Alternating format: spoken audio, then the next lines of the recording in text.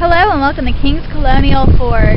Today we've got a fully loaded dark blue 2010 Tri Titan V8 with a 5.6 motor. It's got tinted windows, rain guards, like new tires all the way around, nice rims, running boards, backup sensors, towing package, cargo management system in the back with the spray bed liner storage in the bed itself. Here's your running boards, rain guards, you have a bug shield on the front. It is has chrome packages everywhere.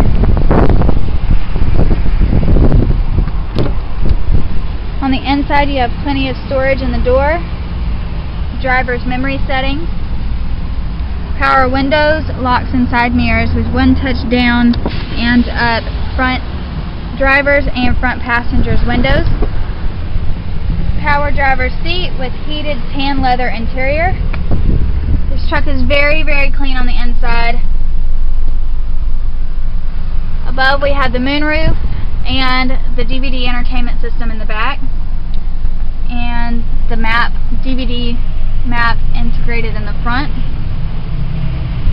Taking a look at the back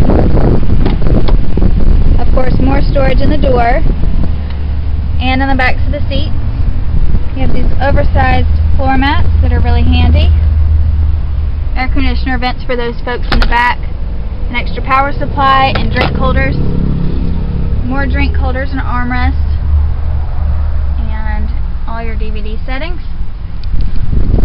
This is the way it looks with the seat up. You can also have it folded down and folded in half. So it's very convenient. On the steering wheel we have the media control buttons, the Bluetooth control buttons, and the cruise control. Over here you have electronic adjustable pedals and the backup sensors where you can turn them off. Cargo lamp dimmer. Has automatic headlights, fog lights, currently only 66,922 miles on the odometer. Over here we have our full screen display. Got a DVD map display as well as satellite radio capabilities, DVD player, auxiliary line-in support, things like that. It does have the upgraded Fos Rockford Fosgate sound system, 6 CD disc changer, dual climate, Here's your auxiliary line and support and your heated seats. It has the remote for the DVD player in the back and here's where you put in the different movies. It has the original owner's manual in the glove compartment, garage door openers, uh, automatic dimming rearview mirror, this is the controls for the moonroof and electronic sliding rear window.